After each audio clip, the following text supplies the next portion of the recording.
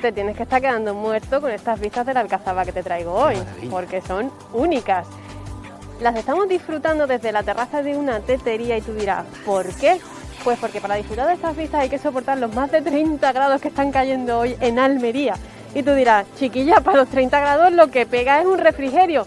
Pues no, lo que pega para superar los 30 grados de Almería es un buen té calentito, hirviendo. Sírvemelo, Yolanda. ¿Ah, sí? Eso. Mm, Si los beduinos, si los beduinos del desierto del Sáhara se lo toman a 40 grados, yo esta tarde te prometo que vas a creerte que este té refresca.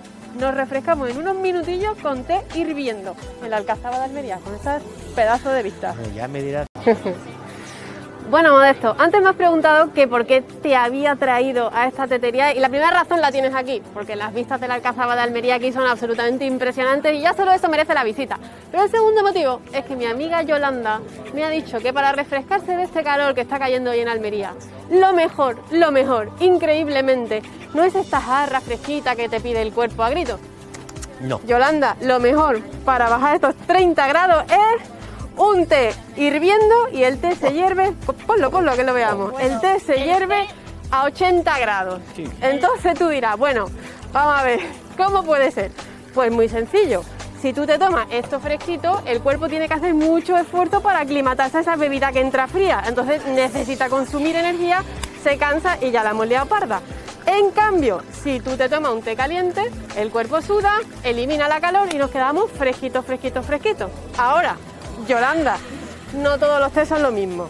Por supuesto que no. Hay muchos tipos. Aunque la planta es la misma, eh, cada té tiene su giro, ¿no? Tenemos. Pero tú vete colocándolo, yo quiero verlo, Claro, quiero verlo, quiero olerlo, aunque sea debajo de la mascarilla, a ver. Mira, este. Sí, y me, y me explicas la técnica, porque tú El que té sabes pakistaní. mucho... El té pakistaní es un té negro, Vale, con cardamomo y con naranja. vea. y canela. Ole. Este se hace con una nubecita de leche. Lleva casi nada, pero le da este característico color blanco. Venga. Es buenísimo de sabor y bueno, como todos los té, tiene un montón de beneficios, ¿no?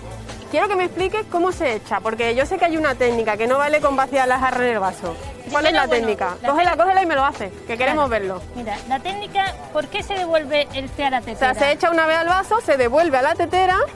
Sí, y se devuelve porque la tetera tiene esto, ¿no? Entonces cuando hace el té, esto se queda el agua casi sin mezclar y te toma agua caliente y eso no es té. El, té sabe a algo más. ¿no? Vale. Entonces, en tres veces, además de remover todos los ingredientes y oxigenarlo, por eso se levanta, se oxigena, Vale. ¿eh? va haciendo así hacia arriba y hacia abajo y veis que un té bien servido tiene espumita. Si no tiene espuma, no va. No es bueno, ¿no? No te quita la calor, que hemos No estado es, hablando. Aquí tienen todo espuma, como podéis ver. Todo es muy bueno. Oye, aquí échame- servimos bien el té. ¿eh? Échame el moruno, el moruno, que es el que a mí me El encanta. moruno. Aquí he traído tres clases de té. Ay. que es negro pakistaní, está el moruno con hierbabuena, Sí. este verde con, hier- con hierbabuena, que bueno, le veréis. Que está- no lo veis por cámara, pero está hirviendo, ¿eh? Está hirviendo. Claro, se hace con el Eh, agua. Se a- empaña el vaso, fíjate. Sí.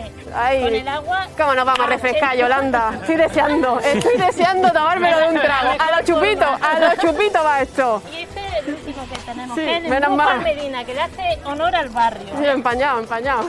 Al barrio, que está hecho este de creación propia. Lleva Y- azahar, naranja, hojas de naranja, Muy bien. canela y jengibre. Bueno, y ya cuando nos hemos refrescado un poquillo con el té, esto ya acaba de bajar, te baja Bueno, la temperatura, ¿no? ¿Esto en, qué e- es? en este sitio la repostería y la comida bueno, es nuestro fuerte. Hacemos desde bebidas naturales hasta todo tipo de Sí, ¿esto qué repostería árabe. Esto- Esto, es- esto se llama rifa Ah, o jeringo según el, tip- el Vale. sitio donde lo nombres, ¿no? Que se puede servir de muchas formas. y, y esto de aquí de chocolate así que parece un- ligerito. Una tartita ¡Ay, qué de bueno! chocolate y nueces. Va. Ay, y, qué y- y la bandeja que tiene así un poco de todo. Estos son pastelitos árabes, tenemos los cuernos de gacela, la chubaquía, que es el pastel típico Qué de qué Ramadán, cuando rompe la luna.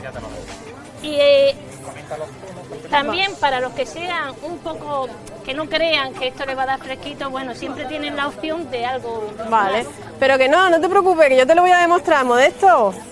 Mira, que te lo prometido es deuda. Salud por el fresquito tan bueno que encima, Modesto, me he pintado los morros después de seis Pero te meses para la ocasión. ardiendo, de porque estaba esto ya ardiendo. De chupito, para estrenar pintalabios nuevo, a tu salud y para refrescarnos. Ahí lo ¿qué te Marco de va? lleva. Andalucía. A ver que te vea la cara.